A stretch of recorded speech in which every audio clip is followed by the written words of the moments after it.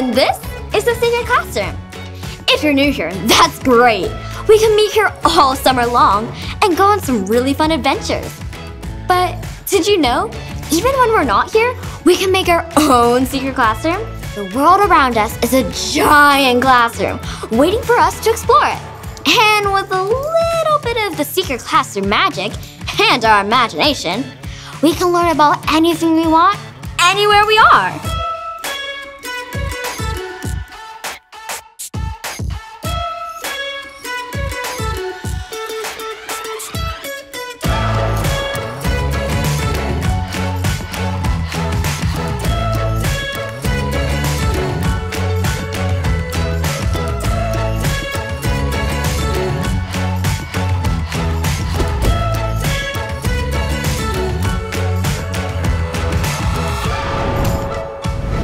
Probably wondering why I'm dressed like this. And I bet you want to know why there are black stripes under my eyes. I see athletes wear it all the time on TV. And that's because it helps keep the sun out of their eyes. The black stripes reflect the sun and it bounces right back into the sky. I just thought it would be fun to try it, and I got to learn about how it works. Sports can teach us a lot. That's why today we're gonna have a ball. So let's get going. Hey everybody, we're at Hodgetown. Have you ever been to a baseball game? I thought I might see if they'd let us in since we were talking about sports today. So you head on back to the secret classroom. I'll catch you later. Hey, I'm Kennedy. And if you like baseball, then you're gonna love this well known song that is sung all over America at baseball games. So if you know this song, sing with me Take Me Out to the Ball Game. Take me out to the ball game. Take me out with the crowd. Buy me some peanuts and cracker jacks. I don't care if I ever get back, so let's root, root, root for the home team. If they don't win, it's a shame. For it's one, two, three strikes, you're out at the old ball game. Thanks for singing with me. Bye. Hi, friends. Welcome back to the Secret Classroom. I'm Mrs. Garcia, and I want to share with you one of my favorite songs from when I was a little girl. The song is called Take Me Out to the Ball Game. This is a song about someone who goes to a baseball game and they experience everything that happens at baseball games. It's really cool. And this song reminds me of whenever I used to go with my dad and we would sing this. So today we're going to read it like it's a poem, okay? okay? All right, so I'm going to start and I want you to keep your eyes on the words and follow my pointer, okay? okay. Take me out to the ball game. Take me out with the crowd. Buy me some peanuts and cracker jack. I don't care if I never get back. Let me root, root, root for the home team. If they don't win, it's a shame. For it's one, two, three strikes, you're out at the old ball game. Have any of you ever heard that song before? No. Yes. Yes? They usually play it at baseball games. yeah, I have. Now, when I was a little girl, I sang this song all the time, but I didn't know what all the words meant. Some of the words in this poem are a little bit tricky. So we're going to go back and look at some of the tricky words and see if we can figure out what they mean. All right? Can you help me? Yeah. Yeah. Yeah? All right, the first word. Yes, Phoebe. The ball game. Ball game? Oh, I'll tell you what a ball game is.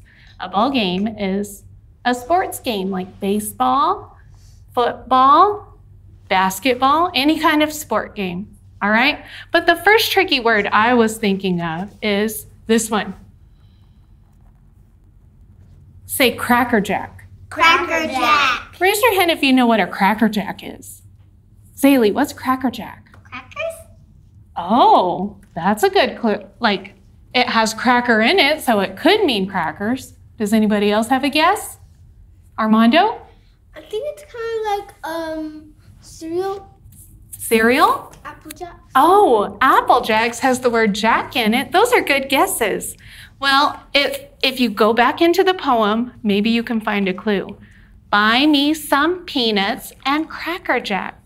So if peanuts is a food, Cracker Jack is probably a food, right? Yeah. And guess what? I brought some Cracker Jacks so I can show you. Those are popcorn. Yes, Cracker Jacks look like this, and they sell them at baseball games. So if you want a snack at a baseball game, you can order some Cracker Jack, and it has popcorn and peanuts, and then it's mm. drizzled in caramel. Isn't that yummy? Mm-hmm. Maybe I'll give you some later. Sound good? Yeah. All right, so we figured out what Cracker Jack means. Now let's go back. Oh, this word right here really, really tricked me. It says, let me root, root, root for the home know what that team. All right, let's give Kemper a try. What does root mean, Kemper? Cheer. How did you know? I just figured it out. It says, let me root, root, root for the home team. So when you root for the home team, it's like cheering for the home team. Yeah. All right, I'm gonna try it out. I saw you. You tell me if I'm doing a good job rooting, okay? Ready? Woohoo! Go team! Was that good? Yeah. Okay, now you try. When I count to three, I want to hear your best root, okay? One, two, three. All right, good job, friends. You are good at rooting. I bet your team will win if you root like that. Okay, the last word that always tricked me, I didn't know what it meant when I was little, was this one strikes. For it's one, two, three strikes, you're out. Vivi, what do you think strikes means? That means you're out.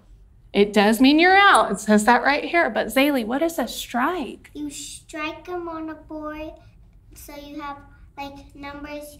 You like have one chance, two chance, three chance. You do have three chances. You know, whenever I used to play softball when I was a little girl, I play softball. you played it too? Mm-hmm. I would swing the bat like this. And if I missed the ball, the umpire would yell, strike! So that's what a strike is if you miss the ball. Hmm. So I'm going to pitch you a pretend ball and I want you to get your bats up like this. And whenever I throw it to you, I want you to swing and miss, okay? Hmm. Ready? Strike! Strike! So it says for it's one, two, three strikes, you're out. So how many strikes do you get? Three. Three. I got three strikes in softball. You did? All right, well, isn't that a cool song? Yeah. And we learned some tricky words. The first one was Cracker Jack Cracker Jacks. and roots. Can you root again? Woohoo! And the last one was strikes. And that means when you swing and you miss the ball. Strike. the ball. Strike! Friends, Strike.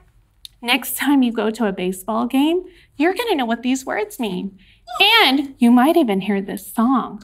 This song is going to have a beat, and you'll be able to sing it because you learned it here in the secret classroom. All right, now we're going to sing Take Me Out to the Ball Game. All right? Okay. So I'm going to point to the words, and you follow along with me and see if you can sing it. Ready? Take me out to the ball game. Take me out with the crowd. Buy me some peanuts and Cracker Jacks. I don't care if I never get back. Let me Root. root, root for the home team. If they don't win, it's a shame. Help me. For it's One, two, three strikes. You're out at the old ball game. Yay, good job. You guys are awesome. Good job helping me figure out those tricky words. Well, this is Mrs. Garcia, and I'll see you next time. Bye. You know what kind of ball doesn't bounce? A snowball. Have you ever been to a ballpark? The ballpark is so big. It is where you can watch a baseball game. I've always wanted to learn how to hit a baseball. It looks kind of hard. But maybe if you do it in a sequence. Sequence is a fancy word for doing things in a certain order. Let's go find out. Are you ready to play ball? Hey, thanks, Sabrina. I saw Ruckus and he let me down on the field. Can you believe it? And the lights are even on. You're right. Hitting a baseball from a tee is a set of steps that form a sequence. So let's go through those steps.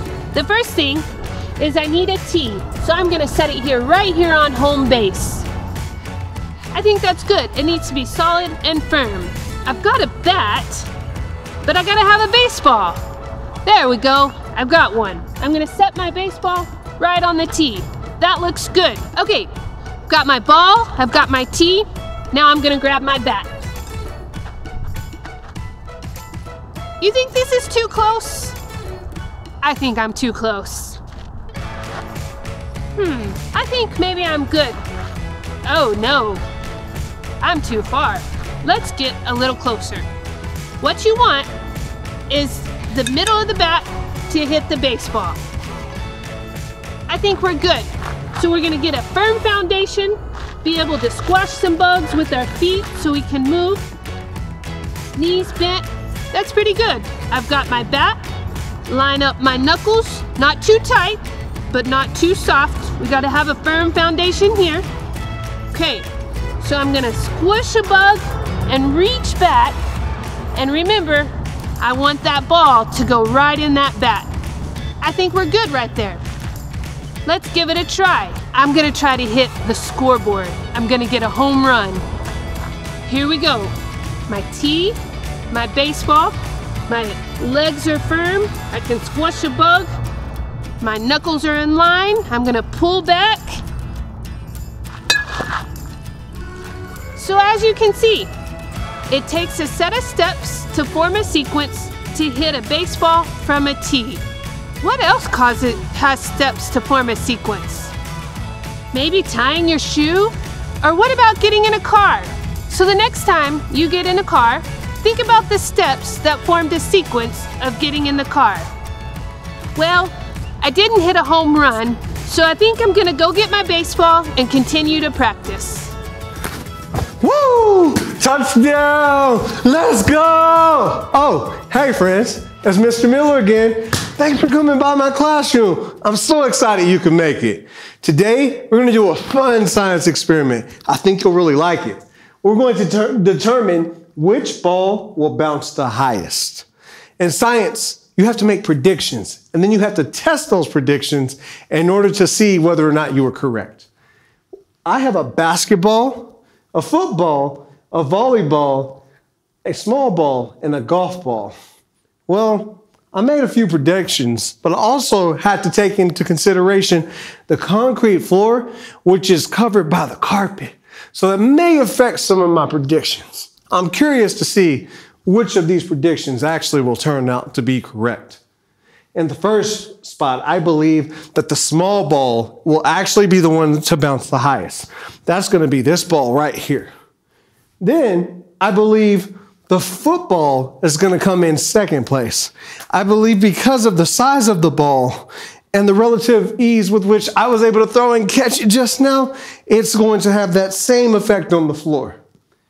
Followed by the basketball. I obviously believe the basketball has the ability to bounce, but I don't think it's going to bounce that high, or will it? Hmm, not completely sure. That's why we're going to predict this. My fourth highest ball, I believe, will be the volleyball. I don't think it's going to bounce that high. Not when the floor is covered with carpet. And then I believe the golf ball, which, unless you hit it with a golf club, I don't believe it's actually going to bounce very high. Well, let's just test out my predictions. Let's start with the first ball here the basketball. You see, I'm wearing the shirt that represents one of my favorite all time players, Kobe Bryant, five time champion for the Los Angeles Lakers and recently inducted to the Basketball Hall of Fame. So it is an honor to wear this today. I even have the socks and the Mamba shoes. So, in honor of Kobe Bryant, or the Mamba. I'm going to use my Mamba mentality and try to see if this ball is going to bounce where I believe it will. And that will be in third place. Let's just give it a try. My goodness. Did you see that? The ball actually reached the top of the two in 24. I think that actually was better than what I predicted. So I would say my prediction here was wrong. The ball here was between the top two places. So I'm just going to mark it here on the outside while I test some of the other balls. The ball that I will go to next will be the football. Remember how I entered and I caught the ball, kind of mossed it a little bit, and celebrated in the end zone. And the referee should have thrown a flag, but I got lucky. Well, I believe that this ball is going to bounce here, the second highest. Let's just give it a try. I'm going to start from the same area that I started with that basketball. Okay. It came up near my waist level. So that actually was pretty good. But I don't know, and I really don't think that would come in second place. Based on that drop, I think it's going to come in third. And as you see, I put three thinking third when I should put two. Ha! There goes Mr. Miller being silly again. So now, hmm, what ball should I check out? I guess volleyball, how did you get over here? Well, just as easily as that ball dropped out of the chair, I think that if you can volley it and you can serve it, you should be able to bounce it at a pretty reasonable level. But let's just see where it goes. I said it would go fourth, but let's see if my prediction was right or wrong. Ready? Oh my goodness! This ball went above my head.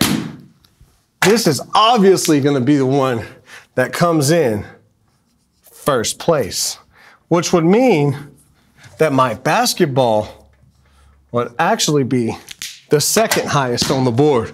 Only two more balls. Let's test these final two predictions. And the number four ball that I have is the small ball. This is the one that I earlier predicted would go top. It would be the ball that would bounce the highest. Let's just see where it lands. Oh, oh my gosh, I can't believe it. That wasn't very high at all. It barely reached the top of my sock. I'm shocked. How could that be? I thought it was small enough to bounce. I thought it was full of air. I guess I was wrong. So I'm going to mark that there. Finally, I have my golf ball. Let's test this prediction. I said it would come in last place. Let's just see if it does. I don't have any golf clubs around me, and I'm horrible at golf, as you can tell by that swing there. But let me see how high this golf ball bounces. Oh man, that was even lower than the small ball. However, I think that was actually my most correct prediction. Let me put a five here circle that with an understanding that one of my predictions was actually correct. One out of five, 20%. I'll take that in this science experiment and I'll actually understand that the volleyball is the ball that bounced the highest. Today we tested our predictions, or at least the predictions I had, and the prediction I had for the ball that would bounce the highest was wrong. It actually ended up being this volleyball. So maybe I think it's time I'll take up a new sport. Since, since this ball bounces the highest, why don't I go practice some volleyball? Thank you for spending time in my classroom. I'll see you next time. When I go to a baseball game, my favorite things are the snacks peanuts, Cracker Jacks, but my favorite are sunflower seeds. You know, I watch the baseball players. They put them in their mouth, chew them up, spit them out. It seems kind of messy. I like to eat my sunflower seeds three at a time. I wonder how many I have here. One, two, three, four, five, six, seven, eight, nine, and 10. So, if I take away three, I wonder how many that's gonna leave me. One, two, three, four, five, six, seven. Do you know what that's called? That's called subtraction. I've got seven left. You know, when I think about it, eating a sunflower seed is kind of like a sequence too. You have to open the bag, put it in your hand, crack the seed, chew the seed, and then spit it out. Hmm, look at that. There's another sequence. Seems kind of empty in here. I wonder where everyone's at. Well, I'm gonna enjoy my sunflower seeds and wait for the game to start. There are 3D shapes all around you. When you are outside or in your home, you can look around and find shapes. We're going to look at three 3D shapes today. The first one we're going to look at is a cylinder. Let's take a peek at this cylinder. When we look at a cylinder, it has a circle base on both sides and is curvy around. Do you see any sports equipment that is shaped like a cylinder?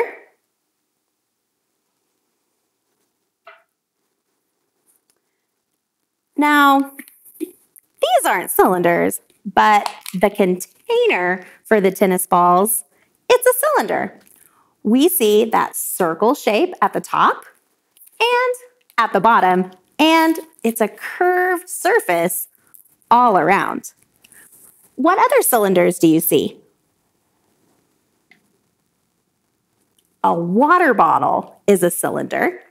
It has a circle base and a circle top, and you can have a drink on a hot day. Do you know what this is for? I'll give you a clue.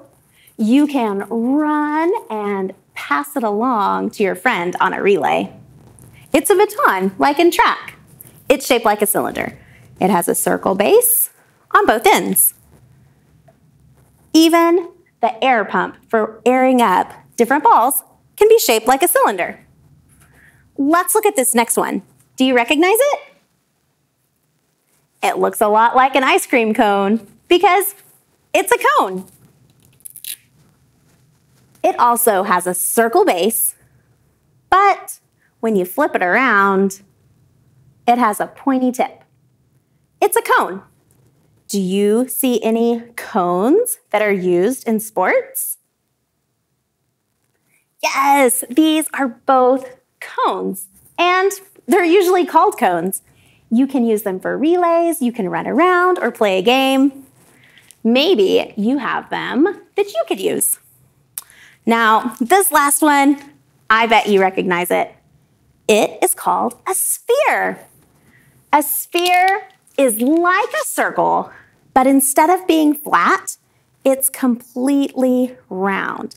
Sometimes you call it a ball. Can you say sphere? Great job. What spheres can you see? Hmm. I notice that the frisbee is a circle, but it's flat, so it can't be a sphere. But the basketball is a sphere. That's why it rolls and you can bounce it. Do you see any other spheres? Sure, the bowling ball is a sphere. You can roll and hopefully get a strike. And a tennis ball, it's a sphere too. Hmm, I wonder what other shapes we might have. Do you think all balls are spheres? A football is called a ball, but it's not a sphere. This one's shaped like a circle, but It's flat too. Hmm, a hockey puck is a different shape. Which shape do you think a hockey puck would be? A cylinder, a cone, or a sphere? Hmm, it's round like a circle on both sides, but it's kind of flat. Did you say cylinder? Yes, a hockey puck? It's a cylinder. Great job. Shapes are all around you. I want you to look for shapes. You can find them anywhere you go, whether you're going with your family, to the pool, or to the park. You can find them in your home. I want you to be looking for shapes. See you next time. Bye. I've had so much fun today, and I can't wait to come back to the secret classroom next week. I think I'll go play with my sphere now. Catch you later!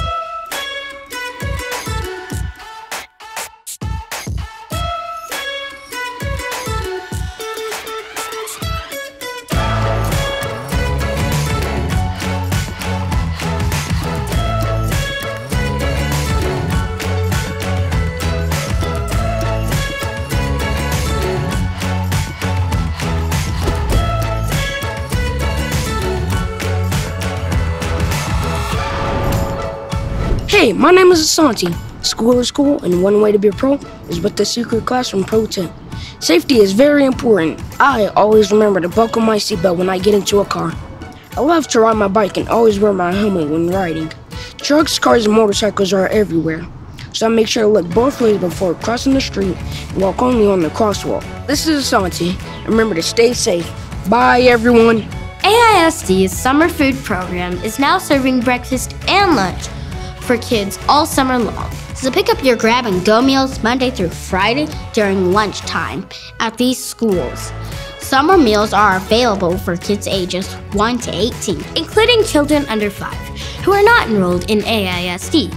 Parents, if you need to pick up food and your child is not with you, plan to provide proof of your child's age. Grab and go meals all summer long. It's that easy. Have you ever been to a baseball game? Yes. You like baseball? What's your favorite part about baseball?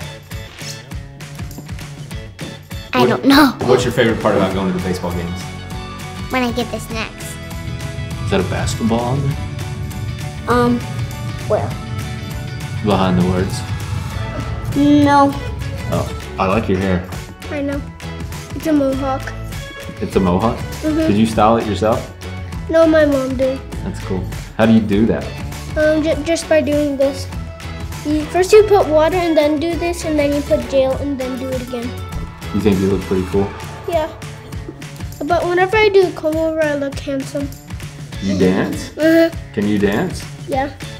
Show me, hold on. All right, show me some dance moves. You got any more? No. What's your team's name?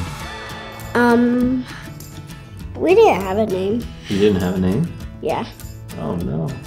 How do you know? How do you know who to like cheer for? Um, we don't have nobody to cheer. Huh. Your parents don't even cheer for you? No. Well, they cheer for us when we win. What if you lose? Well, they don't cheer for us. Um, the ones that have those kids on those sides cheer for their kids, but the ones on our side cheer for us. Okay. Parting thoughts? Mm hmm What? Nothing. All right. That's a cut.